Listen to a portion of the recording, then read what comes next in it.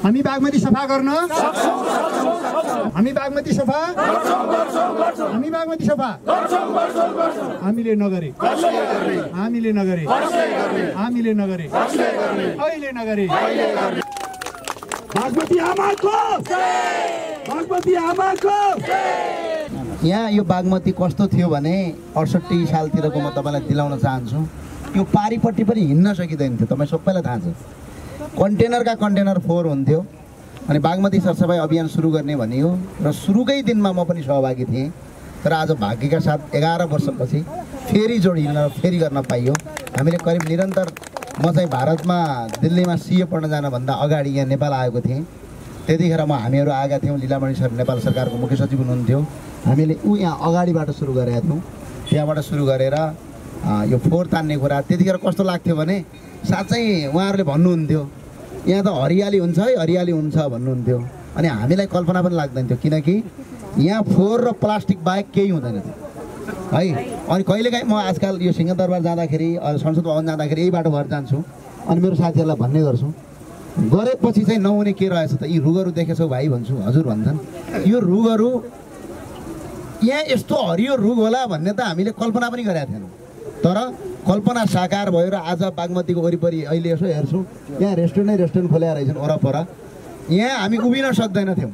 त्यस्तो अवस्था थियो तर अहिले यहाँ सयौँ मान्छेले साइड साइडमा तपाईँको होटलहरू खोलेर अहिले व्यवसाय गर्न सकेका छन्। केही समयदेखि गएको दुई हप्ता जतिदेखि मात्रै काठमाडौँ महानगरपालिकाको अलिकति सक्रियता देखिया छ। तर अझ- पनि हामीले अपेक्षा गरे गरे अनुरूप कोही भइरहेको छैन। र माननीयज्यूहरूलाई हाम्रो यो प्रदेश सभा सचिवलाई प्रदेश सभा सचिवलाई चाहिँ अनुरोध के हो भने यो ढल मुक्त बनाउने कामको लागि चाहिँ जग्गा पास गर्दाखेरि त्यो जग्गा पास गरेको पाँच प्रतिशत जस्तो लाग्छ मलाई short and revenue zero point five. Zero point five चाहिँ त्यो जग्गा पास गर्नेहरूबाट असुल उपर गरिन्छ त्यो बागमतीमा ढल बनाउनका लागि भनेर। त्यो पैसा प्रदेश कोषमा छ। त्यो पैसा नआएको कारणले हामीले राम्रो काम गर्न पाइएन भन्नुहुन्छ बागमतीको साथीहरूले सभ्यताको साथीहरूले। त्यो चाहिँ तपाईँले सोधखोज गरिदिनु होला प्रदेशले त्यो पैसा सोधखोज गरेर यहाँ आओस् भनिदिनु होला आओस् मात्रै नभनिदिनु होला आएको पैसा चाहिँ यहाँ सदुपयोग भयो कि भएन भनेर पनि हेरिदिनु होला खबरदारी पनि गरिदिनु होला यो आजको यो दस वर्षसम्म जे जति तपाईँहरूले लागेर निरन्तर काम गरिरहनु भयो उहाँहरूलाई मेरो हार्दिक नमन उहाँहरूप्रति हार्दिक कृतज्ञता ज्ञापन गर्न चाहन्छु। मेरो जान हाम्रो जानकारीमा भएअनुसार यसरी भोलिन्टियर रूपमा शुद्ध भोलिन्टियर कुनै पैसा रकम नउठाइकन कुनै कमिटी नबनाइकन कसैको यो मैले गरेको भनेर कसैले एकजनाले दाबी गर्न सक्ने अवस्था नबनाइकन निरन्तर दस वर्षसम्म यो अभियान लिएर आउन सक्नु हाम्रो लागि गौरवको विषय हो। सम्भवतः हाम्रो जानकारीमा यस्ता अभियानहरू कहीँ छैनन्। र र त्यो बाहेक अर्को चाहिँ हाम्रो यो अभियानको प्रेरणाबाट जुन नेपालभरि अभियानहरू चलेका छन् ती अभियानहरूका अभियानकर्ताहरूलाई पनि म हार्दिक नमन भन्न चाहन्छु। र हाम्रो अभियान चाहिँ जारी रहन्छ। र यो अभियान चाहिँ जबसम्म हाम्रा नदीनालाहरू सफा हुन्नन् बागमती मात्रै होइन। बागमती सफा भयो भने अर्को नदीमा जान्छौँ हामी। अर्को सफा भयो भने अर्कोमा जान्छौँ। हामी सम्पदा स्थलहरू सफा नहुँदासम्म हाम्रो अभियान निरन्तर जारी रहन्छ। यहाँहरूको सहयोग चाहियो। हामीलाई राजनीति चाहिँदैन पैसा चाहिँदैन। अभियानमा सहभागी हुनुहोस् यहीँ आउनुहोस् फिजिकल्ली काम गर्नुहोस् र सरकारी निकायहरूलाई जिम्मेवार बनाउनका लागि दबाब दिने काम गर्नुहोस्। जो सरकारी निकाय जिम्मे जिम्मा लिएर बसेका छन् ती निकायले आफ्नो काम जिम्मेवारीपूर्वक गरून् भनेर दबाब दिनुहोस्। हाम्रो बागमती सफाइ अभियानलाई त्योभन्दा ठुलो योगदान अरू केही हुँदैन। हामीले यो अभियान सुरु गर्दाखेरि सुरु गरेको केही समयपछि हामीले एउटा शपथ ग्रहण बनाएका छौँ। तपाईँ आज आउनुभयो हुनाले बिहान हामीले त गरिसक्यौँ तर तपाईँलाई पनि हामी शपथ गराउँछौँ। शपथपछि हामी केही नारा लगाउँछौँ। त्यो नाराको अर्थ के हो भने हामी चाहिँ उत्साह उमङ्ग जागोस् अलिकति मान्छेहरूलाई चाहिँ अलिक काम गर्न ऊर्जा जागोस् भनेर हामी केही नारा लगाउँछौँ। र अन्तमा हामी चाहिँ एउटा राष्ट्रिय जागरण गीतमा नाचेर मात्रै बिदा हुन्छौँ। यो हाम्रो अभियानको चरित्र हो। त्यो जागरण गीतमा किन नाच जा नाच्छौँ नाच्छौँ भन्दाखेरि हामीले बागमती सफाइ अभियानलाई प्रोजेक्ट होइन। यो कसैका लागि काम गरिदिएको होइन। यो सुस्फूर्त हाम्रो चाहिँ एउटा उमङ्ग उत्साह। हामीलाई यो चाहिँ यो एक एक किसिमको चाहिँ यो हामीले यसलाई चाहिँ त्यो रूपमा लिएका छौँ। त्यसकारण हामी चाहिँ बागमती सफाइ गरिसकेपछि फुलेर हाँसेर नाचेर मात्रै जान्छौँ। त्यो पनि जागरण गीतमा। जागरण गीतमा किन नाप्छौँ भन्दा यो मात्र एउटा यस्तो अभियान हो जो राष्ट्रिय स्वाभिमानको अभियान भन्छौँ। हामी कसैको पैसा नलिएको कारणले कसै कसै कसैको पैसा नलिएको कारणले हामी स्वाभिमानी छौँ।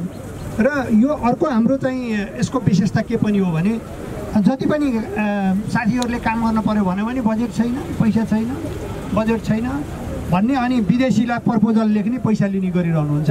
हामी मात्र यस्तो एउटा संस्था हो जो कसैले पैसा दिन्छु भने पनि हामी पैसा लिँदैन। पैसा चाहिँदैन र हामी यहाँ कुनै विदेशी थुप्रै राजदूतहरू आउनु भएको छ। उहाँहरू पैसा दिन होइन यहाँ आएर फोरै टिप्नुहुन्छ।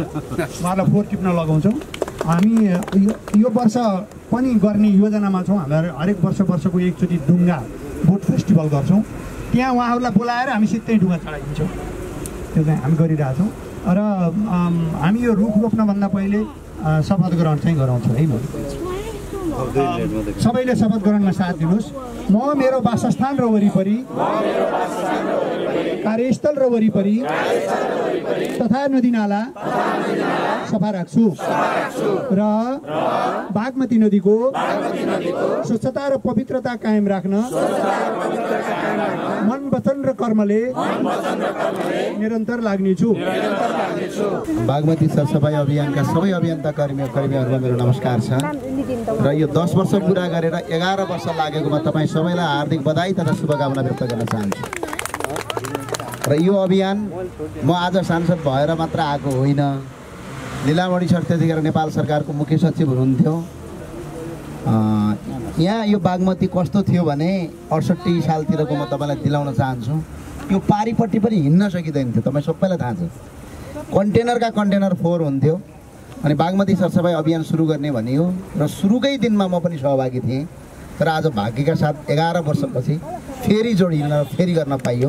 हामीले करिब निरन्तर म चाहिँ भारतमा दिल्लीमा सिए पढ्न जानुभन्दा अगाडि यहाँ नेपाल आएको थिएँ।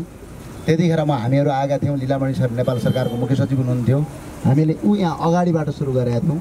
त्यहाँबाट सुरु गरेर यो फोहोर तान्ने कुरा त्यतिखेर कस्तो लाग्थ्यो भने साँच्चै उहाँहरूले भन्नुहुन्थ्यो यहाँ त हरियाली हुन्छ है हरियाली हुन्छ भन्नुहुन्थ्यो।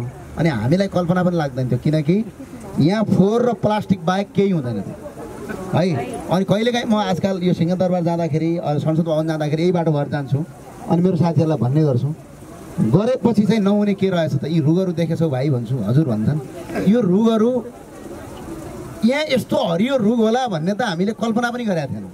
तर कल्पना साकार भयो र आज बागमतीको वरिपरि अहिले यसो हेर्छु यहाँ रेस्टुरेन्टै रेस्टुरेन्ट खोलेर रहेछन् वरपर। यहाँ हामी उभिन सक्दैनथ्यौँ त्यस्तो अवस्था थियो तर अहिले यहाँ सयौँ मान्छेले साइड साइडमा तपाईँको होटलहरू खोलेर अहिले व्यवसाय गर्न सकेका छन्। अब अहिले रुख रोपेर अब यो निरन्तर जारी छ। हामीले सोचे बराबर यो अहिले सफा भएको त छैन। तर यति होला भन्ने हामीलाई कल्पना पनि थिएन ल। यो वास्तविक कुरा हो होइन? तर यो भयो। हुँदो रहेछ भन्ने कुराले देखाएको छ। अब धेरै लामो कुरा नगरी यो सफाइ अभियानमा निरन्तर फेरि पनि जोडिरहन पाऊँ म। फेरि फुर्सद भएसम्म म तपाईँको फेरि पनि उपस्थित हुन्छु र आज अब यो कार्यक्रमका लागि तपाईँलाई विशेष धन्यवाद व्यक्त गर्न चाहन्छु। हस् जय राष्ट्रवाद यहाँले अघि कुनै वक्तव्य दिँदा पनि हामी सबैले सुन्यौँ। योभन्दा पहिलाको बागमती भनेको कति फोहोर थियो कति ऊ थियो। होइन अहिलेको देशको अवस्था पनि त्यस्तै छ। भ्रष्टाचारले तपाईँले पहिले देखेको बागमती जस्तै छ। होइन यस्तै गरी अहिलेको अवस्था अहिले बागमती चाहिँ अलिक नर्मल देखिन्छ। यो अवस्था चाहिँ कसरी आउला र यो? गरेपछि नहुने भन्ने हुँदैन रहेछ। त्यतिखेर अहिले जानेर म उभिएर तपाईँसँग कुरा गर्दैछु यहाँनिर उभिन सक्ने अवस्था थिएन। फोहोरै फोहोर थियो। तर अहिले हरियाली रुख छन् वरपर होटल रेस्टुरेन्ट चलिराखेका छन्। मान्छे आएर कफी पिइरहेका छन् मान्छे बिहान डुलिरहेका छन्।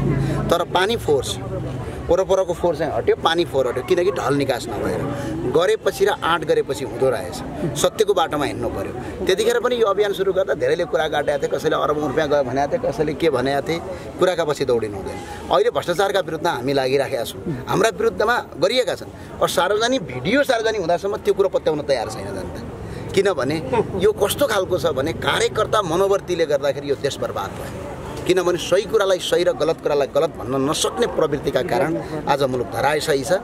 नेपाली जनताले त्यो कुरा मान्छ र हिजो एउटा सरकारको नीति तथा कार्यक्रमले एउटा गजबको काम गरेका छ। हामी चाहिँ परिवर्तनको आशामा छौँ।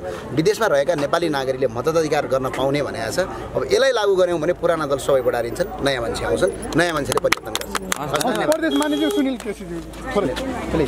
जस्तो यहाँसँग अघि उठेका जिज्ञासाहरू चाहिँ अब यो प्रदेशमा सयौँ रकम उठेको र तपाईँहरूले यहाँको जनताहरूले चाहिँ कहाँ गयो भन्ने कुरा थाहा नभएको। यसको विषयमा यहाँले के सोच्नु भएको छ अब संसदमा यसको बारेमा चाहिँ अब म विस्तृत रूपमा उहाँसँग बसेर एक्चुअली यो बारेमा छलफल गर्छु। र छलफल गरिसकेपछि त्यसको एउटा तात्पर्य निष्कर्ष निक्लिन्छ त्यो निष्कर्षको आधारमा र त्यो म आफूले गहिरो अध्ययन गरेर त्यो बारेमा के रहेको छ अब नौ गति तपाईँको तल पनि संसद बस्दैछ तपाईँहरूलाई थाहा छ। त्यसैले गर्दाखेरि अब त्यो लगतै यो कुराहरू के रहेछ म त्यसलाई एकदमै मन्त्रालय पछि हरेक कुरामा जहाँ सम्बन्धित छ त्यो ठाउँमा गएर म त्यसलाई राम्रो फलोअप गर्नेछु। भनेको अब हामी यहाँ बागमती सरसफाइ अभियानमै सुन्नु पाउँछ त्यो तपाईँले अब हामीले। ठाउँबाट हामी पछाडि हट्दैनौँ। हामी जबरजस्त यो ठाउँ सफा हुनुपर्छ। अघि माननीयज्यूले भनेको जस्तो हिजो के थियो अवस्था आज के भएको छ हामीले हरेक कुरालाई बी पोजिटिभ भएर पनि हेर्दै हेर्दै जानुपर्ने छ त्यसैले गर्दाखेरि अघि भने जस्तो यो ठाउँमा बस्न सक्ने अवस्था थिएन। तपाईँहरूलाई थाहा छ उहाँले भन्नुभयो जस्तो गरेर यहाँले रेस्टुरेन्टहरू खुलेका छन् बाटाघाटा बनेका छन् मान्छेलाई सहज भएको छ तपाईँ हामी यहीँ उभिएका छौँ। त्यसैले गर्दाखेरि यो कहाँ के अड्किएको छ यो कुरामा हामी जबरजस्त तपाईँको अगाडि बढ्नेछौँ